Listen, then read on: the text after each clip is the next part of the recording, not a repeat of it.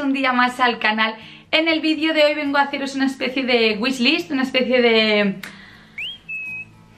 haul compras a la inversa para deciros lo que yo me pediría para Navidad, para Reyes, si no lo tuviera aún. Este vídeo creo que es útil para que uno os hagáis vuestra lista de, de Navidad, si aún no la tenéis, vuestra carta para los Reyes o para Papá Noel, ¿vale? Para que sepáis exactamente lo que queréis, pero también es útil para poder reenviarla a los pajes o incluso para vuestro cumpleaños o así, pues bueno, por si queréis que alguien se inspire, no acabar de decirle exactamente lo que queréis. Entonces vamos allá, os voy a proponer las cosas que yo me compraría o las cosas que yo pediría si aún no las tuviera. La primera cosa que pediría así como, mm, bueno, que he llegado a pedir cuando empecé a hacer scrap, son cosas, herramientas básicas eh, dentro del mundo del scrap, como por ejemplo la Big Shot o por ejemplo la Crocodile. Obviamente la cizalla, regla, cúter, todo esto también lo podemos pedir, pero es verdad que lo que es el desembolso no es tanto. Entonces, bueno, la Crocodile o cualquier corner chomper son cosas que yo pedí en su momento cuando estaba empezando a hacer scrap, igual que la Big Shot. Al final unas me las he comprado yo, otras me las han ido regalando, así que bueno, creo que es una de las cosas principales que yo pondría en mi lista. Otra de las cosas que yo pondría es algún cacharro a nivel de herramienta de estas que saca guiar así un poco friki, que esto también me lo he llegado a pedir eh, por Reyes. Unas navidades, por ejemplo, me pedí la Frame Punch Board de WeAre em, porque es algo que me apetecía tener pero a la vez decía, ay, no me lo compro, no me lo compro así que la puse en mi wishlist y me llegó para Navidad, bueno, para Reyes que esto creo que os lo enseñé en un haul Otra de las cosas súper útiles o cosas que yo mm, creo que me haría yo creo que me haría ilusión recibirla y, tal.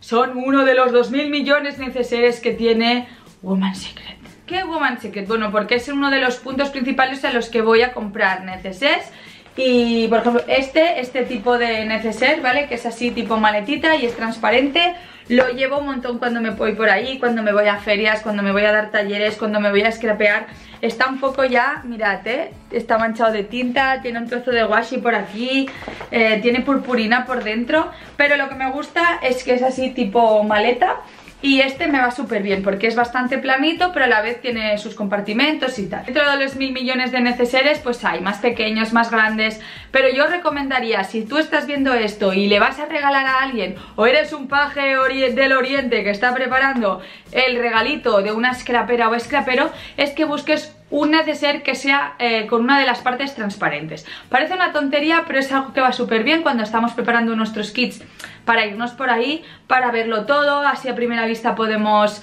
eh, ojear lo que tenemos y lo que no tenemos dentro de nuestro neceser y mm, además es que quedan súper monos así transparentes. Si los veis es un acierto, tanto los que son cuadrados, los que son tipo maletín, hay unos que son como más grandes que llevan dos luego dentro neceses de Woman Secret geniales para eh, cualquier escapero o escapera. Obviamente podéis mirar en muchas otras tiendas, lo que pasa es que son los que yo compro, así que por eso yo os digo que yo me pediría un neceser Molongi de Woman Secret. Otra cosa que es un regalo súper top para un escapero o escapera o gente del mundo cookie, crafty, que nos encantan las cosas eh, monis, son por ejemplo tazas. No sé si la veis desde aquí, esta taza aquí es de Mr. Wonderful, es un panda, pero es que luego tengo otras, obviamente. Y encima de mi mesa tengo esta de aquí, que es chip. Esta me la regaló Marta y bueno, llevaba un montón de tiempo queriéndola y la tengo así de encima de la mesa. Luego tengo esta otra que pone, hoy va a ser un día brillante y me la regaló Edith, ¿vale? Son los ojitos de este unicornio. Y luego tengo esta otra también que pone Cosmic Llama, que me la regaló Ana y bueno, como veis las tengo todas encima de la mesa para guardar mis cacharros. Esto quiere decir que los amigos invisibles del mundo también se pueden aprovechar de esta lista porque una taza divertida, mona y cookie que puedes usar encima de la mesa te la puedes regalar en cualquier bolsillo. Así que amigos invisibles, una taza molongi, no solo para el café, para nuestra mesa llena de pongos. Otra cosa que también os diría que podríais poner en vuestra wishlist y más ahora por esta época es un planner, un planificador. Yo tengo uno de Mr. Wonderful que me llevo para arriba, para abajo con el calendario, pero además, como sabéis, también hago bullet journal, así que una libreta de bullet journal, y en este caso os voy a enseñar una libreta, bueno, dos, son bastante parecidas, son estas libretas de Esther Gilly. Las libretas de Esther Gilly son súper bonitas, solo ya por la portada, la ilustración que tienen son súper preciosas, la ilustración que hace ella con acuarela, eh, realista, pero con un punto así especial, me encanta muchísimo. Y bueno, esta la compré ya en Sitges hace tiempo y esta me la regaló Luis de Zaragoza. Las dos en este caso son eh, con puntitos por dentro, que para hacer el bullet journal nos va muy bien. Pero que sepáis que las venden también de rayas, de página lisa. Entonces, bueno, para el bullet journal lo que es, o incluso para practicar lettering, lo que es el punteado nos va súper bien. Pero bueno, que una libreta preciosa... A ver, que levante la mano, ¿quién no tiene más de una libreta en el cajón? Yo tengo muchas, ¿eh?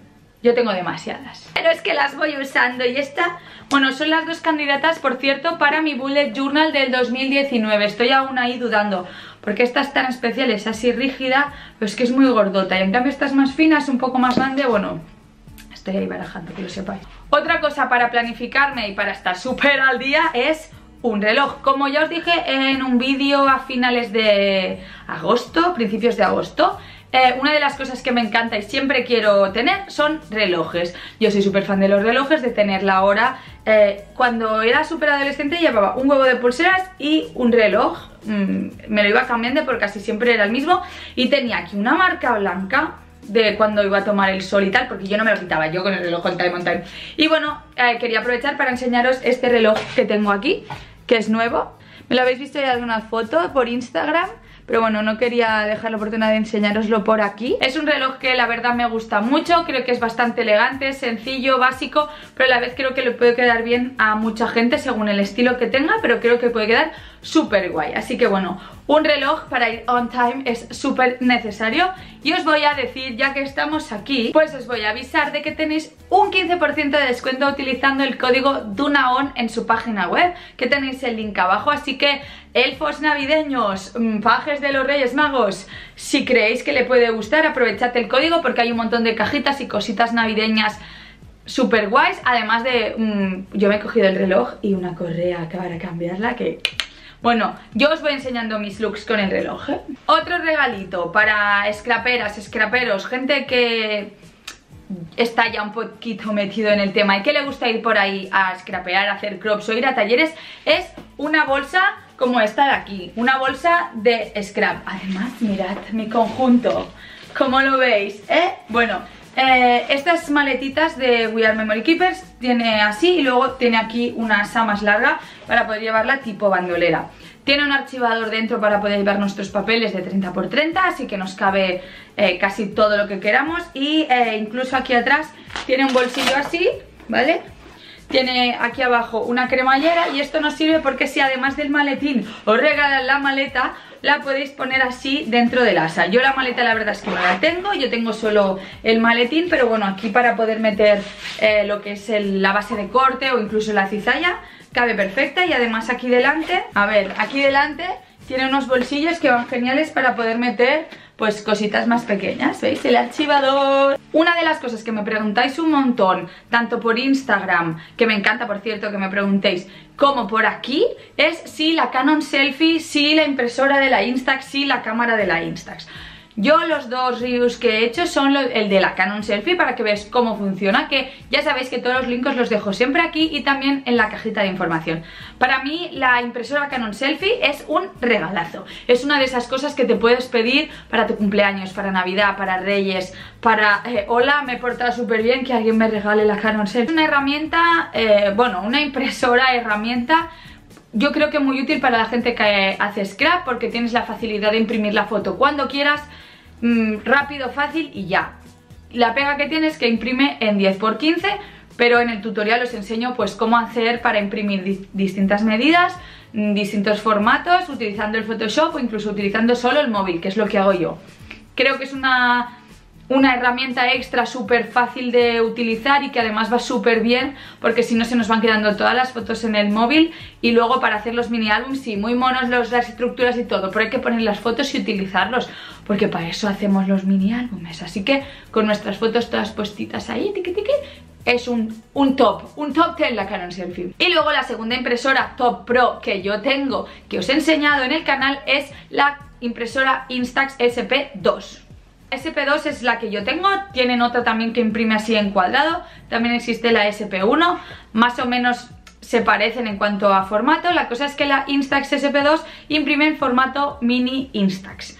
Em, que es el que tiene la típica cámara esa super guay así de color inchis que yo tenía pero que mm, me amargué de usar porque entre que no calculas bien el aire que te deja luego, uy, es que estoy muy cerca, muy lejos y me ha quedado desenfocado. Ostras, ahora he imprimido esta y yo que sé, el color no se ve suficiente se ha velado un poco yo me, me, la compré y la verdad es que la utilizo muchísimo. Os enseñé en un review cómo funcionaba, ya sabéis, también aquí y abajo en la cajita de información os dejo el vídeo para ver cómo funciona. Y bueno, si os interesa mucho podría hacer algún tutorial extra pues utilizando estas fotografías en algún proyecto, en algún mini álbum, una cosa así porque de verdad que creo que... A ver, si tenéis que elegir eh, selfie, Canon Selfie o Instax, yo la verdad es que me decanto por la Canon Selfie.